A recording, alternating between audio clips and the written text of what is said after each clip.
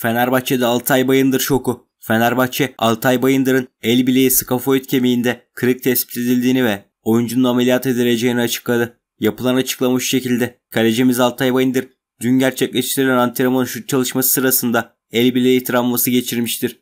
Acıbadem Hastanesi'nde yapılan kontrol ve MR sonucunda kalecimizin el bileği skafoid kemiğinde kırık saptanmış olup ameliyat olmasına karar verilmiştir. Alınan bilgiye göre Altay Bayındır sezonu kapattı ve 3 ay sahalardan uzak kalması bekleniyor.